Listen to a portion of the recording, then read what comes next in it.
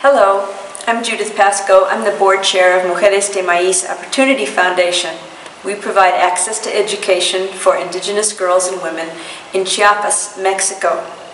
We are very grateful to Alternative Gifts International for their help in funding some of our programs.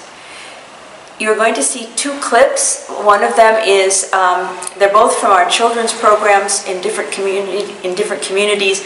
One is a student who attends the program and one is from one of our scholarship recipients who actually teaches in the program as part of her community service.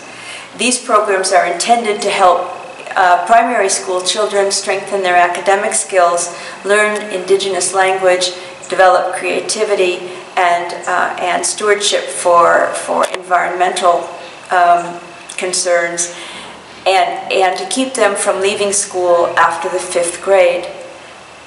Here are the next clips. Thank you. Hola! um, ¿Cómo te llamas?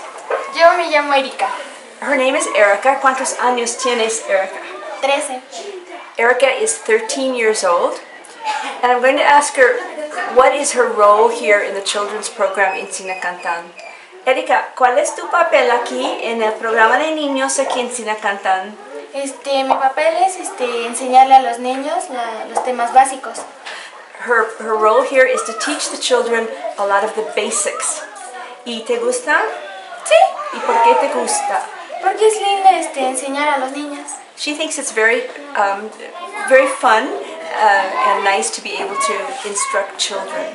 Um, ¿Cuáles son las cosas que enseñas? What are the, I'm asked her what are the things that she uh, teaches? Este, matemáticas, español, ciencias naturales, un poco de historia. Okay, she teaches math and Spanish and his, history and some natural sciences. Asisten al programa. I'm asking her why she thinks it's important that the children come to the program. Porque este, cada, cada día se les enseña cosas nuevas. Because es every, importante que aprendan. it's important because every day they learn new things that are important for them to learn. Um, what level, uh, I'm going to ask her what level she's in in school, and qué nivel estás en, la- en, la, en la escuela? Este, voy en segundo grado de secundaria. She is in the second year of secondary school, which is about eighth grade, and Erika is one of our scholarship recipients, and she does her community service by teaching the children here in Zinacantán.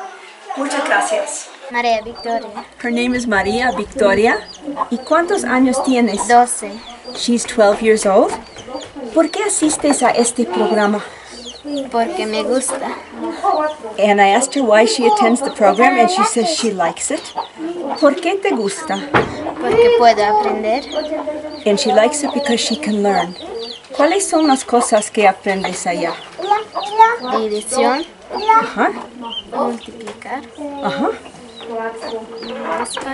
Okay. Some of the subjects she learns are division, multiplication, and Spanish. Muchas gracias.